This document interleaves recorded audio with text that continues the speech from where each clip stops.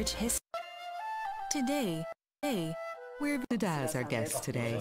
Thank you for having me. As a game designer, he knows very well the joy of making his own works from scratch. I think I do. Making a video game starts from zero. It's total art, where you create the images, script, and sounds from absolutely nothing. Today's guest, Mr. Goichi Suda, is the guiding force behind a host of video game series. Among his most famous creations is No More Heroes. This, among his other games, has garnered a strong following among audiences and players around the world. I write the dialogue of game characters with an awareness of what they might say on their way to death. Kind of like dying declarations. It may have something in common with haiku. Welcome to the world of photo haiku, the bringing together of image and poem. Each work must follow three rules. It has to be a three-line haiku. It has to portray seasonality. And it has to maintain a balance, fusoku furi. Picture and poem can be neither too close nor too far apart. On to our selection of the best works sent in from all over the world.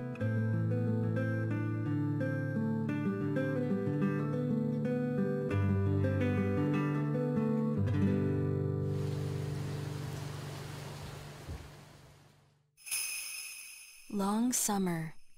Dad's straight word moves me into the shade.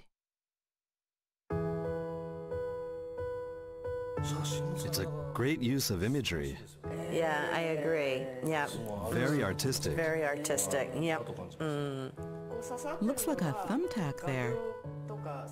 Or a nail. Mm. There's a phrase, to nail someone. Maybe his dad shot him a stern warning. I get the feeling the photo came before the poem. Ah, I think so. Yeah. When I make a game, before I even write the scenario, there are times when the art, or an illustration, spins my imagination into completely unexpected directions. Looking at this haiku brings to mind my own writing method. How the image pulls it out of me. Actually, when I do a photo haiku, same thing. Very often the, the image is the first thing that I focus on and, and the, the poem comes out of that. Mm. Mm. Mm. mm. That's the charm of a photo haiku. The content of this poem is really hard to fit to an image. I imagine a father-son relationship. The father's words seem to have stayed with the son. The nail and its shadow are inseparable, like father and son. That's right. Yeah, you can't get, you can't escape it. The content and the image are perfectly matched. Really fantastic, isn't it? Divorce process. The weight of the air between us. This one's kind of heavy. Mm, heavy is indeed. Yeah. The choice of this photo is incredible. You feel just as if you're going to sink into darkness, down to the depths of the ocean. I wondered if perhaps the chain trailing down into the water could symbolize a child. The poem says, between us, and then you see the three directions of the chain, don't you? That's right, yeah. Well, four actually. There's one shadow. Mm. This truly embodies Fusoku Furi. Exactly, yeah. Mm. At first glance, nothing connects the world of the poem with the photo. Imagine how blunt a photo of the parents with their child would be. Too direct. So the lack of directness makes it good. In the case of this photo haiku, the three periods in the first line mark a dramatic break. It separates the world of the beginning from what follows. and what follows is something utterly different. And it's this synergy of the two parts that creates a whole, an even larger world. It's not emotional, but you feel the emotion. Yes, of course. The heavy atmosphere is charged with emotion, which also makes this a very good work indeed. Suddenly a gust, scent of lilac, filling the room.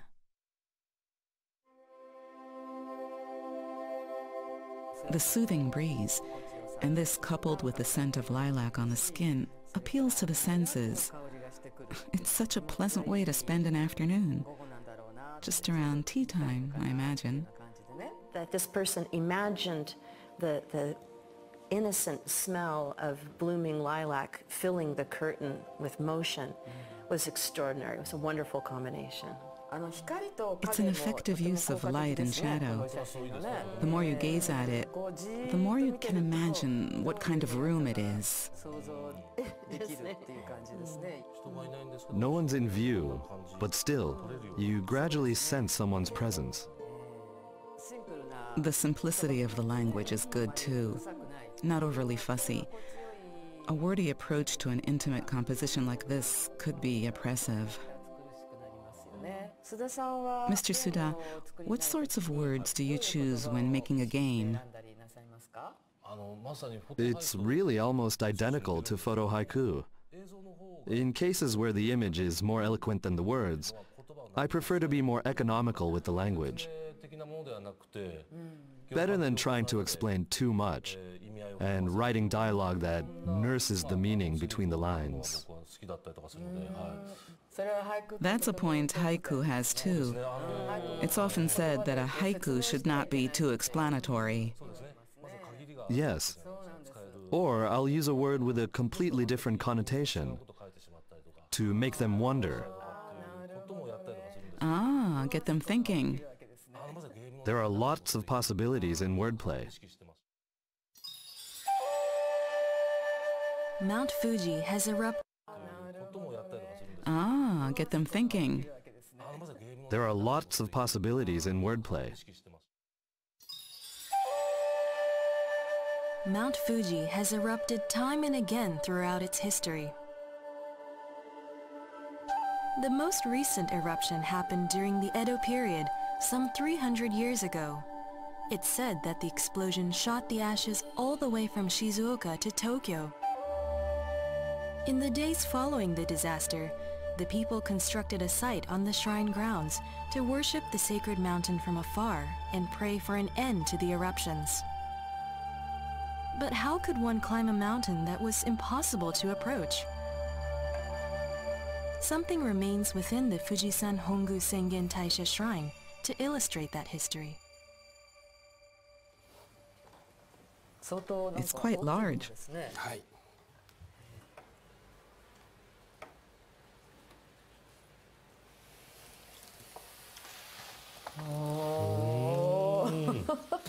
It even depicts the sea.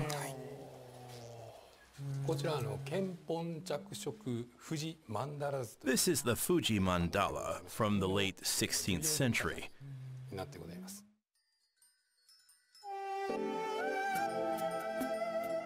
A mandala is a visual representation of the Buddhist worldview.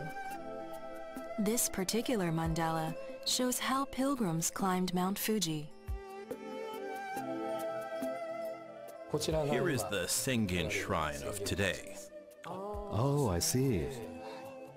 Are they bathing? No, this is the Wakutama Pond, and it still exists even now for performing one's ablutions. Ah, to purify themselves. They've disrobed down to their loincloths. The pilgrims come to the shrine for ritual washing, but look here, something's being burned. Ah, Oh. yes. The box lid is open, and the writing says it's a bank chest, but what do you think he's doing? Taking an entrance fee? No, he's handing out torches. For a night climb? Correct.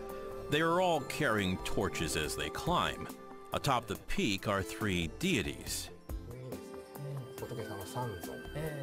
From the left, Yakushi, Amida, and Dainichi Nyorai.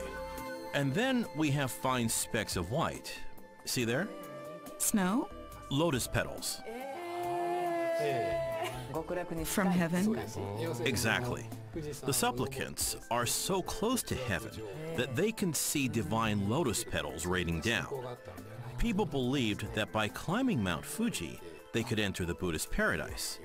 So, just by looking at this mandala, we can understand the faith of those who lived 400 years before us.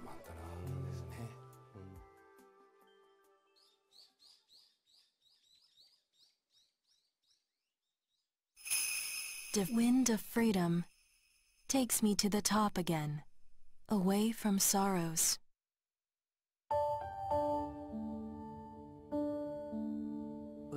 This next work comes from Uzbekistan. The photo of Mount Fuji is magnificent. In contrast to the majestic photo of Mount Fuji, this language here, for me, gives way to sorrow. This is a really difficult haiku. Maybe it's because the haiku uses really large words, really mm. powerful words. Okay, the wind of freedom carries me to the top, away from sorrows. But the photograph is, is kind of an interesting combination because when we see Fujisan like this with the clouds in between, it seems completely separate from all these mm. people living down below. And so it's like another world. I felt there were a few too many words. So would you cut it like this? The, the wind takes me to the top, away from sorrows? As a composition, that works better for me. Oh, okay. First, say all you wish to say, and then subtract whatever is unnecessary, leaving only the words that still communicate the heart of your poem. In my view, a good composition has an awareness born from trust. The poet should trust in the reader to understand what the poet is saying. Everyone loves Mount Fuji. Absolutely, we love it. Yeah. A game creator acquaintance from abroad visited me in Japan, and upon arriving, just straight off climbed Mount Fuji, like he'd done it before. Oh, maybe. Uh, again, right. Ah. It was like, I got to climb Mount Fuji again, or so it felt. Among the world's many grand mountains, Fujisan is unique, with a special place in the hearts of the Japanese and people all over the world. Of the many seasonal words of haiku, it is distinctive. Normally, snowmelt is a seasonal word for spring. But here, snowmelt on Mount Fuji signals summer, since Mount Fuji is crowned with snow even in summertime. That's Mount Fuji. Then there's another seasonal word, red Fuji, indicating late summer, when the peak is rich with morning sun colors. Any more colors? Like a blue Fuji? No, but what season would a blue Fuji be? Feels like summer, no?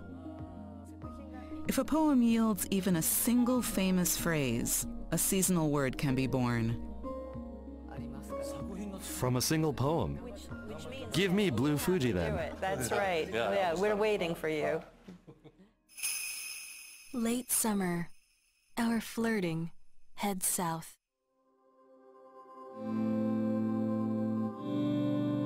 I confess I didn't understand this composition. Mr. Suda, did you find anything of interest here? These old ruins in the photo, they just feel dangerous. It's like the location of a slasher movie. You imagine Jason or the Texas Chainsaw Guy hiding inside. Feels like something's going to happen. A desolate outback in America is perfect for monsters. A young couple rides out here on a summer's night, starts making out, and then gets attacked. Hidden terror waiting to strike. I get that image instantly from this scene. That's something. I wonder, does the last line indicate a bad direction? it's kind of made me laugh a little bit because there's a slight humor to it. And yet, if you're heading south on this road, it's the end of the relationship. So I think it's going bad. It's taken a bad turn and end of the summer, end of the relationship. I think that's what it means. The sky looks that way too. It's very disquieting. Definitely a bad end here. mm, I think so. Yeah, yeah. a hospital ward. The old ladies show off their age.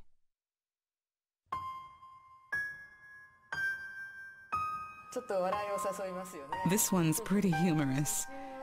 The photo is black and white, and it shows a plate sitting atop a cutting board filled with what looks like dried fruit.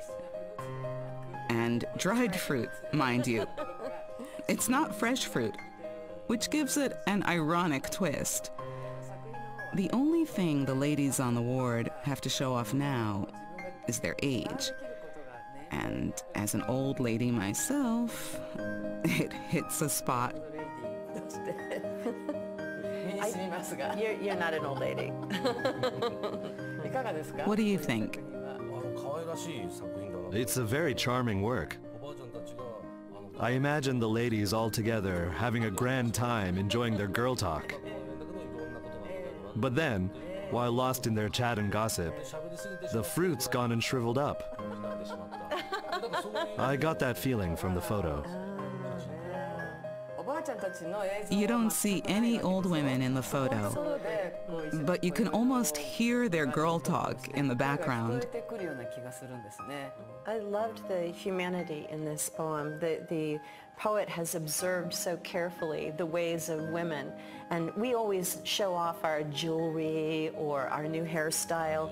But when you get to an old age, what have you got left but your old age? And these ladies saying, oh, my back really hurts. Oh, my knee doesn't work at all. And it's, it's somehow lively and, and sweet and shows that they're still full of life.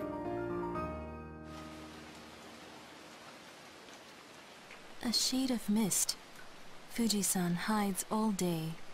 Fascinating. Mount Fuji rarely shows all of its artful beauty, even in a full year. That's part of its charm.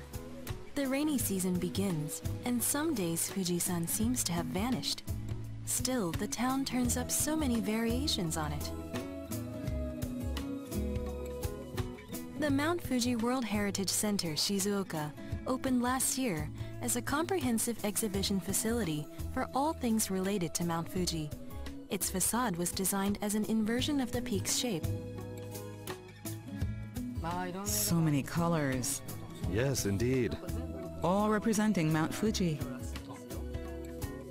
A stationery store in town makes ink for a fountain pen they say was inspired by Fujisan.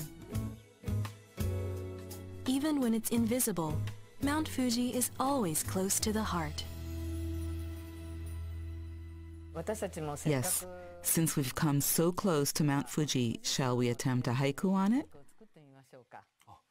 Yes. It's my first attempt, though. Please show me how.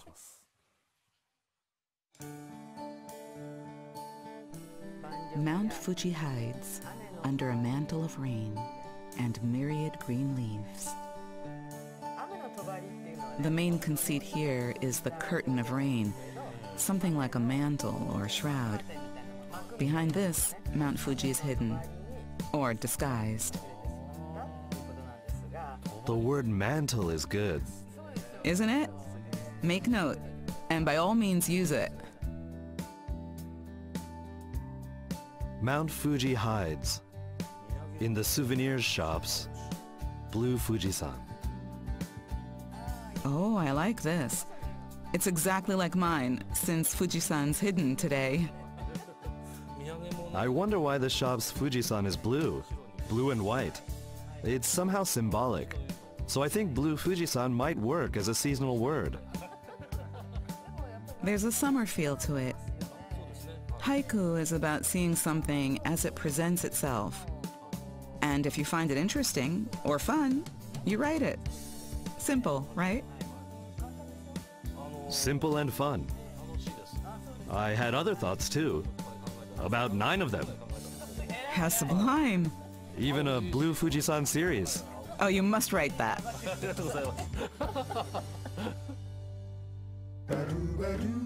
For our next program, we will be accepting verse-only haiku entries without an accompanying photo. Shizuoka is famous for its tea plants and has been called the green tea capital of Japan. The theme of these haiku is tea. Soft breeze, bringing bird songs, tea picking. Soft breeze, bringing bird songs, tea picking. Sunset, honey dripping in my cup of tea. Sunset, honey dripping in my cup of tea. Long bus journey. After a tea break, the driver's hum. Long bus journey. After a tea break, the driver's hum. In Japan, tea has been featured in a great many haiku throughout all of the four seasons. It gives rise to various deep feelings of history and culture.